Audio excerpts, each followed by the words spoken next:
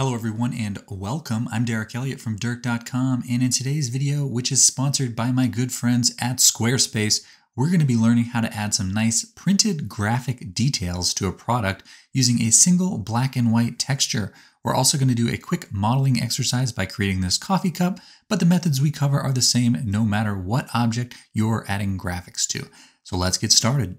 All right, so I'm in my basic scene here. I'm gonna press A to select everything and X to delete it. So we have a nice clean scene. And I'm gonna press Shift A and add in a cylinder. And before I click anywhere else, down here in the left, I don't need 32 vertices because I'm gonna be doing a lot of subdivision. So I'm just gonna set that to something like 18. That's also gonna give us a nice flat side right here on the X axis to add our handle. So tabbing into edit mode, I'm gonna make sure this is about the shape I want. I don't want it quite so fat. So I'm gonna press S and Shift Z to scale that inwards just a little bit, something like that. And then I need to make a place where I can put that handle. So I'm gonna press Control R to add in an edge loop. And I'll actually just add the one right here. And then I'll press Control B to bevel outwards. And this will be sort of the two places where my handle will start and finish something like that. Then in edge select mode, I'm going to select these two rings and bevel them one more time, control B. And now that I have some nice geometry to work with for my handle, I'm going to select these two faces right here and have the handle come out from right there. So I'll press E and then just push that out on the X axis a little bit, something like that. And then we just need to bridge these together. So the way I'm going to do that is going into my front view, I'm just going to go into X-ray, select this one, and then press Control and right click and that will allow me to sort of just extrude a handle outwards. And then when I get towards the end here, I'm just going to select both those two faces, press Control E, and then I can bridge edge loops, and that will tie those together. Now it's looking a little funky, so you may just want to go in and just shape this out a little bit more to get it to your liking.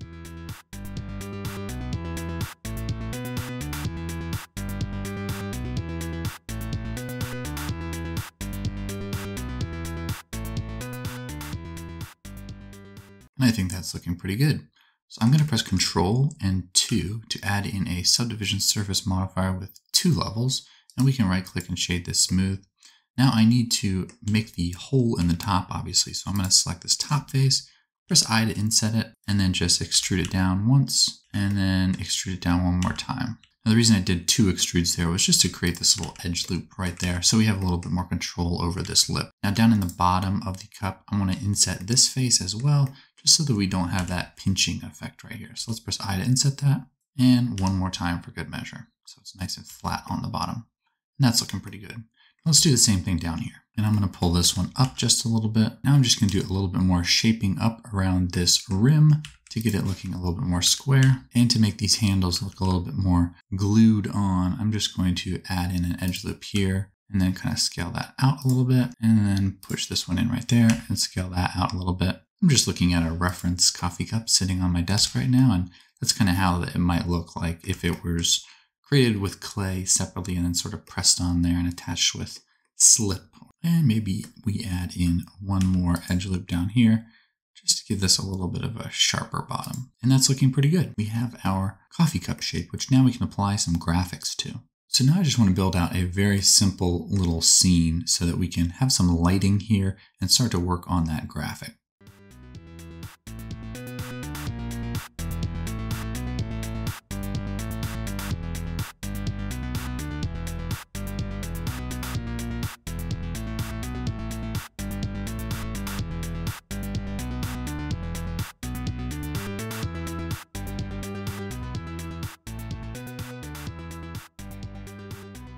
All right, you custom coffee cup connoisseurs, let's talk about websites and what you can do to create one that looks super sick and is super easy to set up. To put it simply, Squarespace. Squarespace is your go-to website builder for creating portfolios, online shops, event pages, and more. With their vast array of gorgeous and ready-to-go templates, you can get moving in no time.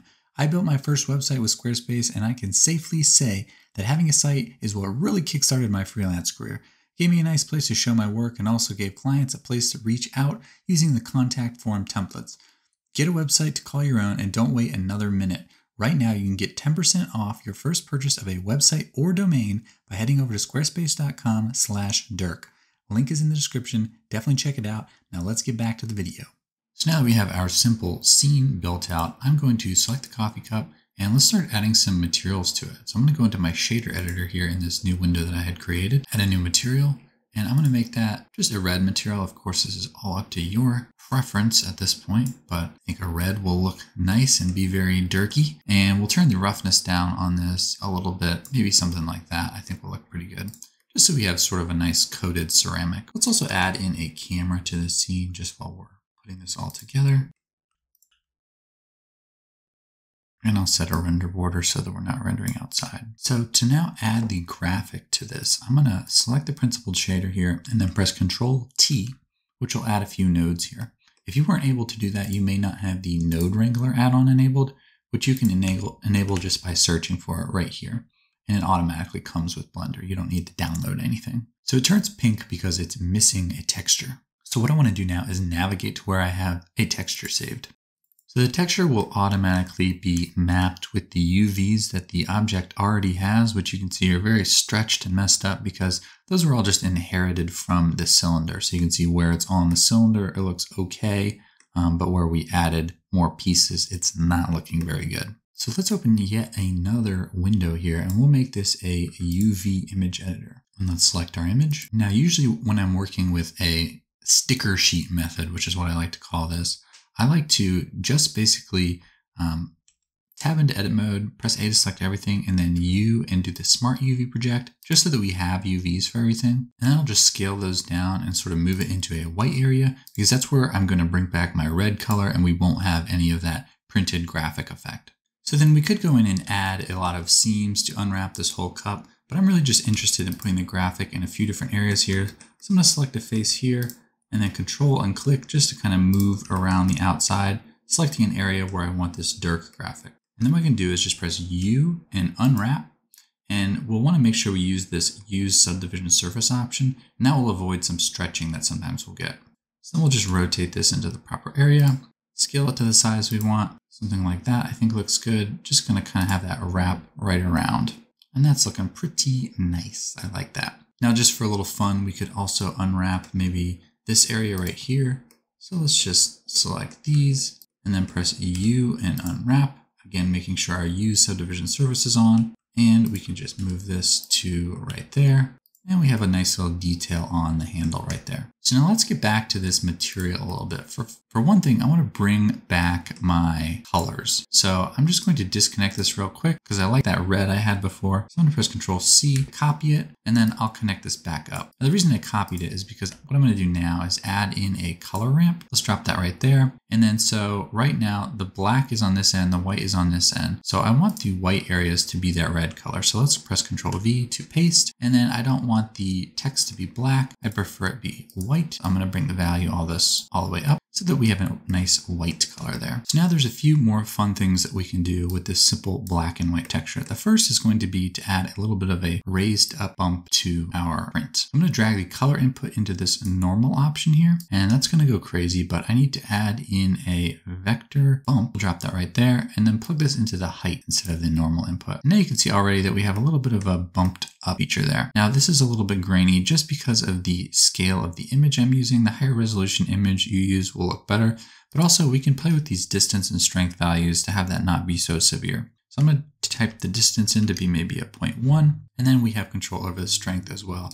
You can kind of see what that effect is doing. Now it's going kind of pressed in a little bit right now, but I'd really have it go, rather have it go out. So I can just use this invert option and that will kind of create that effect for us. And you can see that that's happening over here on the handle as well. Just a very simple little bumped out effect right there. So with that looking good, we can also use this texture to control the roughness a little bit.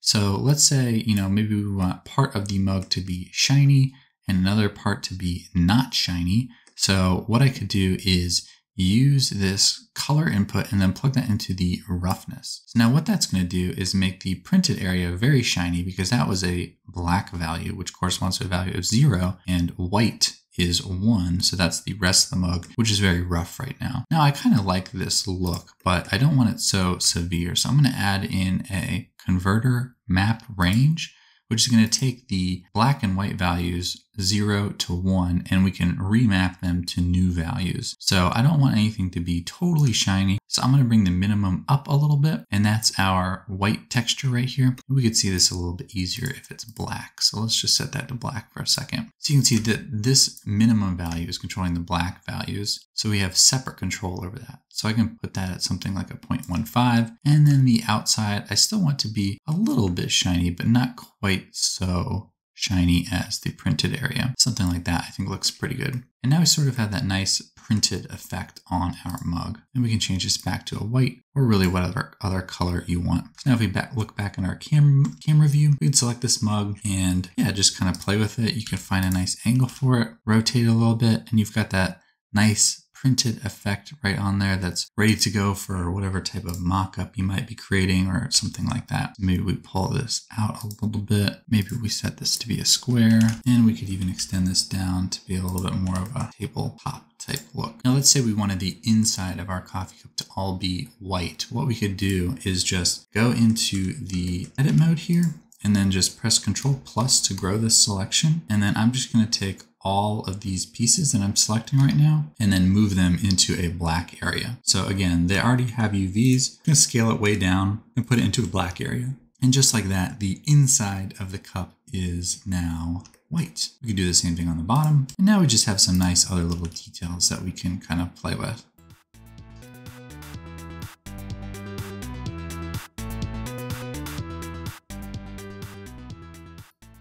And for extra credit, you could even make a little bit of a glass coffee cup. You could have the color also affect the transmission value. Plug that in right there.